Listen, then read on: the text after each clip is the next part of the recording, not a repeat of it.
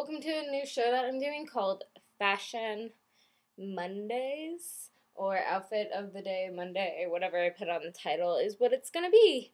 So, I my style in general is more casual. I go to college, so it's more casual. I don't wear too many party dresses all the time or glitz and glam. I'm a pretty daytime dresser or a bar goer, so it's like whatever I'm wearing out during the day, I go to the bar and wear at night, you know. I'm a, pretty much a pretty simple person. Um, I do have a few jeans that I just got, but overall, this is, I kind of like, I wear a lot of black, but I've been getting more and more into not wearing as much black. So let's get started.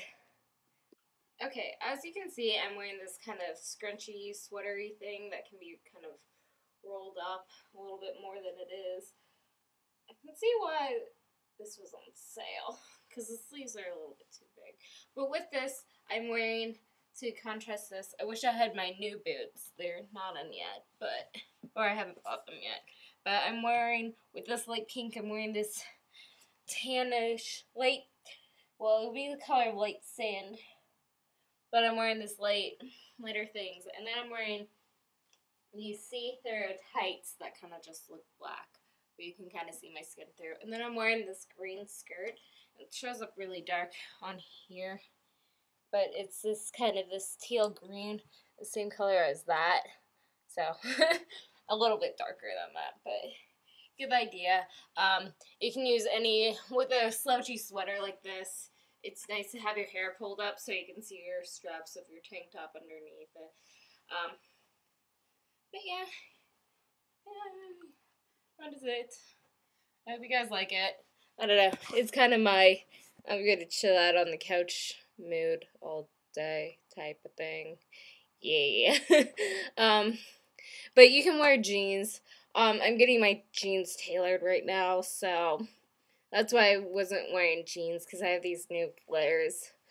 Um, but yeah, the skirt's from Forever 21, the tights are from H&M, the boots are from Urban Outfitter.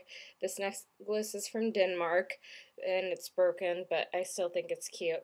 Um, tank top, I think, is from, I usually just get the $5 racerbacks, wherever I find them, 2 for 10. And then this thing was from American Eagle, so not anything overly expensive. Probably do that on my next one because I've because I'm sure you'll want to see something kind of glitz and glam. But this is me since it's my week off. This is kind of what I wear when I go outside, and yeah, that's that's it. Yeah, it's kind of fun, kind of young. So, yay! Thanks for watching, guys. I will see you this week for a tutorial. this is kind of a nice thing for me to do. Fashion Mondays, and tutorial each week. Alright guys, bye!